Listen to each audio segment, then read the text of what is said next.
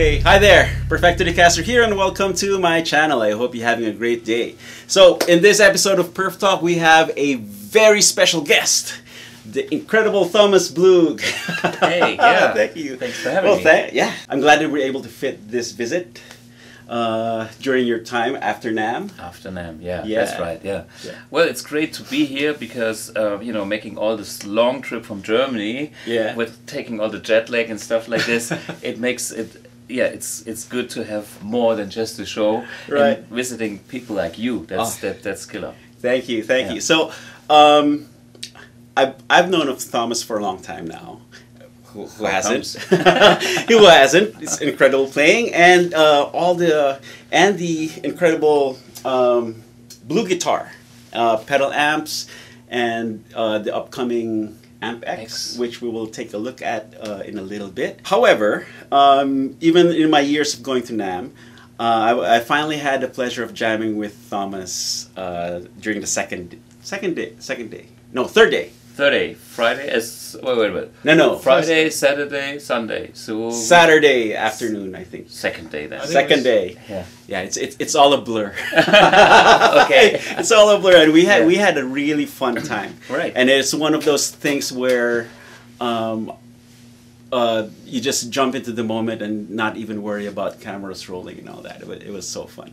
So, um, and I will roll a clip, quick clip, so that you can guys you guys can check it out. Uh, that was taken by our uh, very good friend Rich here, who was who was all, who was also there, and uh, he Rich Morgan. there you go, Rich Morgan, and uh, he had the. Uh, he had the presence of mind to uh, whip out his phone and, and record a little bit of that that special jam. so here it is. Uh, enjoy.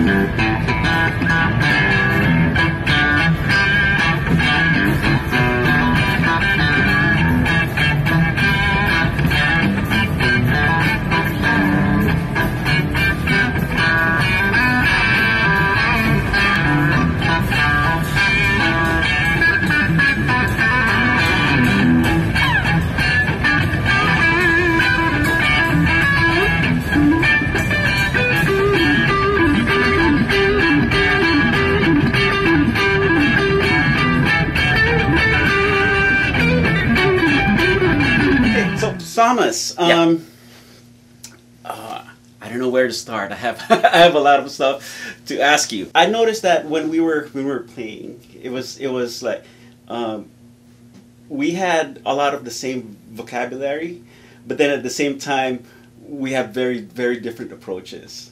Fair enough. Because it's always great to, well, to have your own style in a way. I, Right. I think that's that's so important that not everybody uses the same vocabulary in the same way. Right. You know, I mean, we all share the same words, but we all have our own message. Right. And so, you know, human beings. Uh, your life background is maybe different from mine. Your experience different. My influence are slightly different, and you know, uh, with the same words, we can tell different stories, Right. and Right. still, you know, come together in a way, talk with each other. Synchronized music is the best language ever. Yes, yes, definitely. I mean, um, we were able to come together, and I, I'm from Asia, and you're from Germany, and, and we're we were just, you know, It was melting. yeah, yeah, yeah, exactly. Yeah. It's amazing. Yeah. So I may have to ask you to go way, way back. Like, Okay. how um, how did you come to pick up our instrument? Like, what the made you play? Yeah, what made you play? Well, I always was a fan of guitar players. When I was a kid, my father was at university, and um, he picked me up after school, and then I got uh, to the cantina at the university. He has some food, son, and then um, he put me somewhere to make my homework, and then afterwards he would kind of visit some students okay. and they had like big record collections. Oh. And of course, from like a decade ago, so when I was a teenager or nine, ten years old, um, I was listening uh, to music from the 60s because you know, my father was teaching um, at school and he, he, had uh, people that were kind of into the Rolling Stones and B.B. King and Albert King, the Kings. And um, so I spent a lot of time listening to those records. Wow. And, um, you know, he, my father was busy talking with them and working with them and whatnot, uh, you know, different world.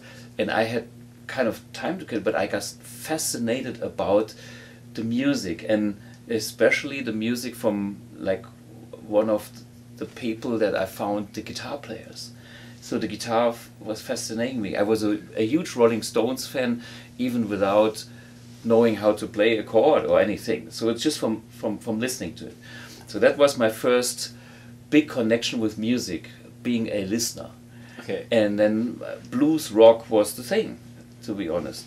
And then um, at age, I think it was 11, I started with the electronics because at university there was a man that was repairing the technician was re uh, repairing the gear like video studio gear and audio gear where they had kind of studios they were filming them, themselves for psychology mm -hmm. studies like talking to each other. Okay. It's like um, how to improve that. I wasn't interested in that. I was more about you know all the wires and the guy. The technician was a cool guy. So i ended up at his uh, workshop and he you know he took me around in the university buildings and showed me all the technology. And then you know after a while he showed me how to solder uh, little circuits. And I, I've done power supplies. And then being a listener my first thing was I was building like my own home stereo. Okay. You know and then and then was ma manufacturing my own my own Bose copy hi-fi speakers. Right. affordable. And then when once I had that, uh, I had like two years up to the age of maybe thirteen, and then I had, you know, I had one very magic moment touching a guitar. Okay. And this was like, ah, now I. I can do the stuff that I like to hear. Ah, okay. And then the next level was, okay, I got that guitar as a birthday present. You know, my parents noticed that there is something, so they gave me for a birthday present a guitar, and it was a nylon string acoustic guitar. Not so cool for a guy that loves to listen to Eric Clapton yeah, and the yeah. blues players. Yeah. So in that case, you can't bend the strings. yeah. I bought myself a pickup and electrified the nylon string guitar and built my fuzz pedal, but this was all a mess. Okay, and then I found out, okay, I need an electric guitar. So I bought, uh, I think, an Aria uh, area Aria Pro yeah. Pro whatever two yeah. uh, Stratocaster copy, and then uh, I had an electric guitar and I built my first own amplifier transistor based with even cards. I just found one the, the other day back home in, in, in Germany. I might have a picture I can send okay. you from I'll, I'll. I'll, I'll flash it yeah, on, yeah. the, on the on And the I screen. fo- found myself uh, 1979 with my signature on it, homemade. Okay. I mean, lousy, but it worked. Yeah, yeah. But I already had a, a, I think a two or three channel amp. I did myself with sound cards that I could exchange. Oh wow! You know, like a modular system. you know, all teched up Yeah. at the age of 13. you Yeah. know. Sounded like shit, but I was Yeah. the king, you know? Yeah. and of course this was a starting point. point and then i found out i heard that tube amps are cool and i got a very cheap um, siemens a german brand Yeah. um, uh, el84 10 watts tube amp that was being used in the church you know not needed anymore in the late 70s 80s because tube amps you know Right. in churches uh, they, they were kind of from the 50s and 60s Yeah, yeah, yeah. so I got that kind of 10 watt uh, tube amp and I played that and then there was a lot of rumble bass so I put my wah in front of, of it to, to make like a low shelf Right. and then I had a pretty good sound but at way too much volume so my sister uh, at home when I practiced she was always screaming at me, you know, because she wanted to do her homework, Right. and I was, And you're rocking up. you know, Queen and everything. She was only happy when I played Queen, that- Ah. because she was a Queen fan. Right. But then I, my first kind of power stroke was just facing the, the speaker face down to the carpet, Okay. you know, just to get it a bit more quiet. Yeah, yeah, yeah. So this was the first, and then I kind of had my first band at school, you know, uh, next level, and then when I had the band, I found that I should have a better amp. My homemade stuff wasn't good enough, Right. and then I bought myself a Mesa Boogie, which was like, Yeah, yeah, yeah. you know, Yeah, yeah. That that's the pinnacle. the pinnacle, you know, Yeah. and, and me being like 15 or something like this, uh, you know, going to school, having not much money, I had a simple question: What is the best amplifier? You Yeah. know, if you ask this question, you get the right answer. Yeah, yeah, yeah. Mesa Boogie. and I said, okay, who's playing Carlos Santana? Okay, Okay. I need one of those. Sold. yeah. So I don't know, five, six thousand Deutschmarks, and I, I spent six weeks to work in a hotel, installing uh, radios with alarm clocks in each room. Guest room. So I, I, I kind of made the money on the double deal. I sold uh, the radios for my electronic supplies. Yeah. And installed them all, you know. with, Okay. You know, Yeah. so the vacuum cleaner and, and cutting, uh, you know, the wood, install the whole thing, side by side, bed by bed, uh, uh, room for room, uh, floor f- floor, Wow. um, six weeks every day. I don't know, fifty a day, and then the next fifty at, for six. A huge hotel, yeah, yeah, yeah. and this made me the money to buy my Mesa Boogie. that's that's awesome. yeah, That's great. yeah so so this was kind of that level and then i was totally obsessed with the guitar uh, i remember being at school not even being there sometimes Right. I, I, I, I once woke up in the morning and just put on my um, what was it um, my jacket drove took my bike drove to the to the school and was still having my uh, what is it the the, the sleeping um, Okay, the pajamas. pajama I still was in the pajama so the whole classroom was laughing at me and then I put my, my jacket back on and was sitting there waiting to go home to practice the guitar Right. so that that that thing happened and then when i came home you know i i, I just wa- was practicing and all i noticed was like six hours later it's it it was dark and i was hungry and in between end of school and starting to pick up the guitar and that feeling i was somewhere else i was totally in my world and I, I know exactly how that feels. Yeah.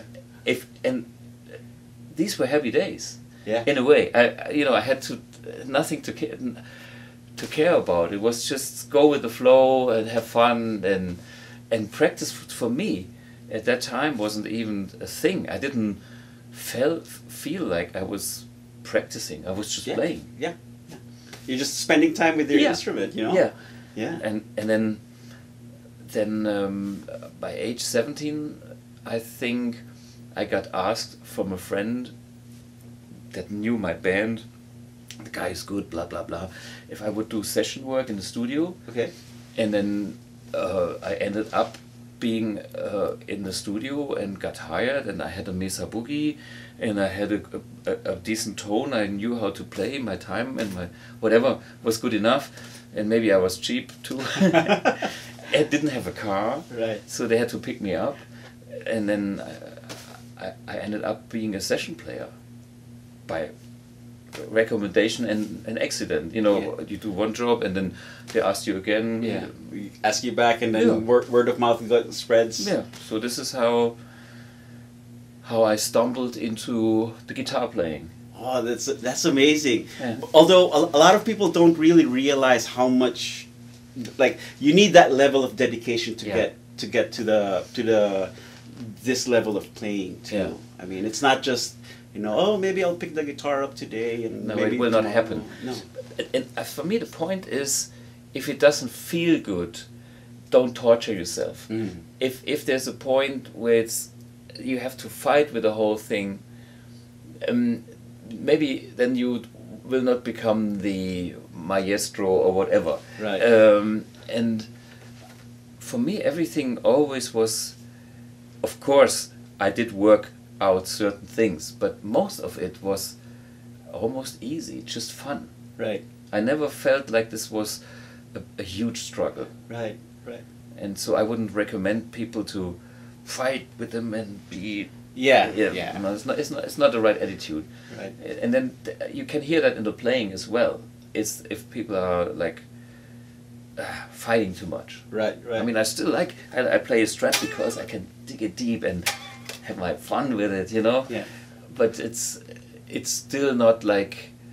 Uh, Well, I I think it's uh I think it's the forcing yourself that shouldn't be there. Yeah. You know, because I mean, th- there will be difficult things. There will be things that, that will challenge you and, Of course. and, and, and and push you. Yeah. Right. But um, if if you're really into it and you're not forcing yourself to to to practice to do this stuff, then that goes by really quickly, and then suddenly you can play it. Yeah, yeah. You know. Yeah, and and I noticed that if you want to be faster than Yngwie Malmsteen and have to uh, weir- weirder licks than uh, Holdsworth and and play the faster whatever, you are never at that level. You can do your thing.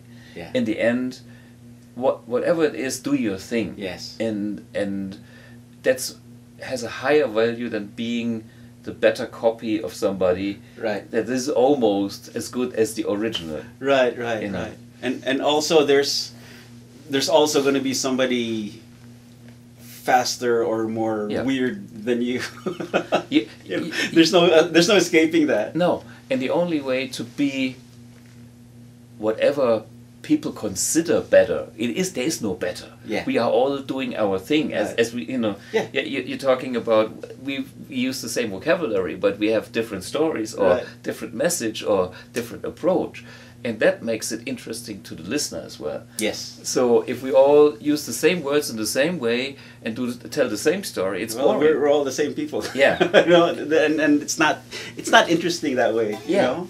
yeah, and that's uh, I, th- I find it very in- interesting how how you know a lot of my heroes are inspired by the same by their heroes and then still sound totally different. I mean, everybody in the UK was influenced by Hank Marvin, The Shadows. Yeah. You know, my all my heroes loved Hank Marvin, but uh, Brian May sounds totally different from Hank Marvin. Right. Uh, and Ritchie Blackmore and uh, who- who not? I mean, they all tried a, a Vox AC30 as, at a certain uh, time in their life, Yeah. but then th- they, They all sound different. yeah, and did their own thing, and and this is the personality in the end. If you're enjoying this video, please give it a thumbs up like, hit that subscribe button, and ring that bell. Well, who was your biggest hero? Well, in the early days, it was Ritchie Blackmore. So um, for many reasons, his phrasing, Yeah. It's like in the early late '60s, early '70s. Uh, I think he was unbelievably good. Mhm. I mean, I don't know if you know. Yeah. ring that neck and there's a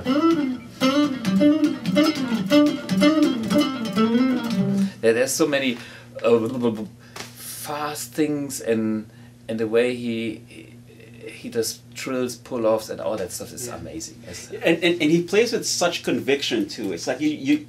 It, it, Yeah. Every note, he means every note. you know? Absolutely. Y- y- regardless how fast or how slow.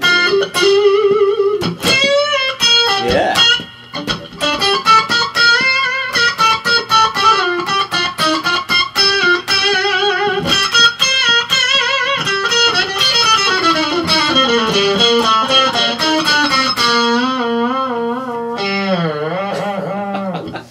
Know this Yeah. but, but, the- and, and then he's and, and play play my most favorite part, the very end. yeah Yeah. Every time you hear that, you just gotta. ah, yeah yeah and and I mean that's how bold he is you know it's like Yeah. yeah Yeah, because Because typically, like the very end of the solo is is fireworks, like ah, whatever, Yeah, yeah. how fast you go, and, and it's like one note, and and ah ah ah, I am going to, I, I'm going to, uh, It's like the 200s and then getting to the exit. yeah, yeah, Nice, you know? exactly, Yeah, and I love it. And and then also uh, it has a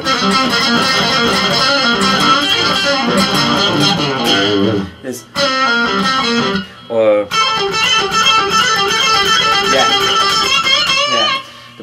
phrasing is Yeah. is not and very clean speed Yeah. picking too. Yeah. Like you know, back uh, in the days. it's- it, there, it, it's unheard of that around that time, unless um, well, un- unless you're John McLaughlin.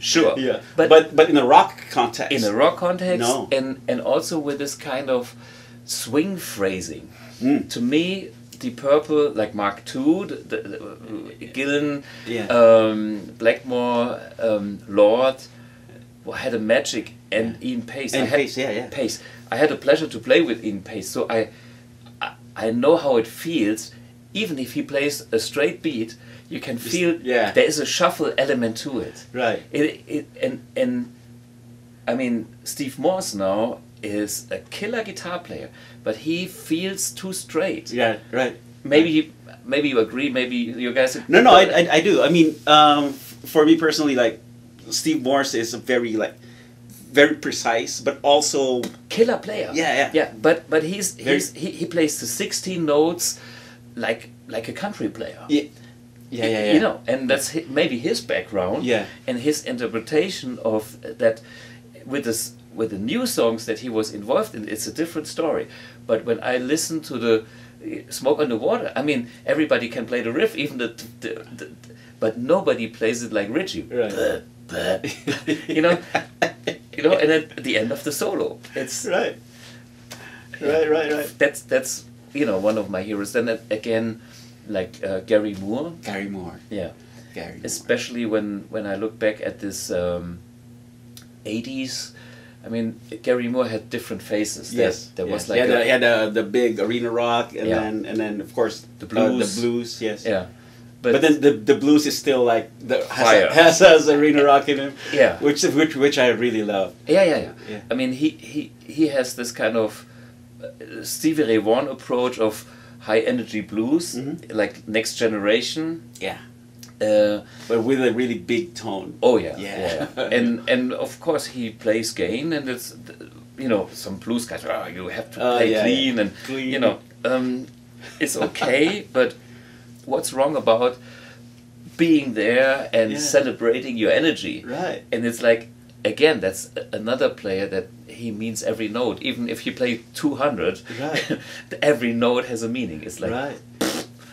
Because I remember when I was younger, when I was starting out and I was uh, discovering all of this, I thought when I heard uh, Steve Vai "For the Love of God," it's like, oh, that's the biggest guitar tone ever. And then I heard "Still Got the Blues." Oh, "For the Love of God" is like tiny. yeah yeah No? and because it is it is again the way how gary celebrates the notes Mm. and um, if you go back to something like parisian walkways you know where, where he goes like uh,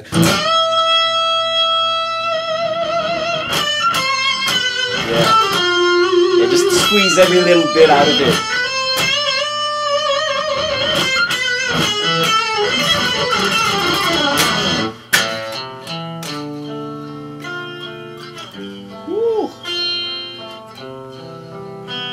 You know Yeah, yeah.